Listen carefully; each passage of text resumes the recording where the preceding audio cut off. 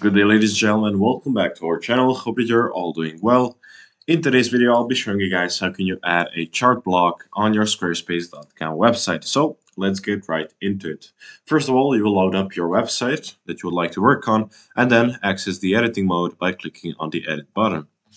Choose the section where you would like to work on. I will simply add a blank one so you can see how it looks. When you hover you'll click on add block. Now you have various options here.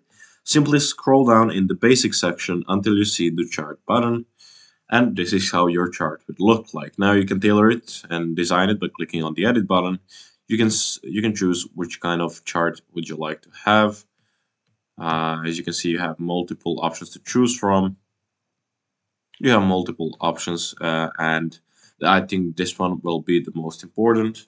So make sure that you edit this um, by yourself. As you, as, as you can see, it says like New York, Las Vegas. You'll simply uh, double tap backspace and then type whatever, whatever you would like.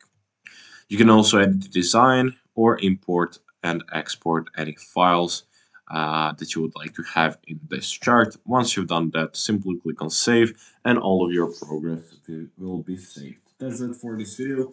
Hopefully you enjoyed it and found it helpful. If you did, leave a like, subscribe to our channel and turn on post notifications and I will see you guys in the next video. Goodbye.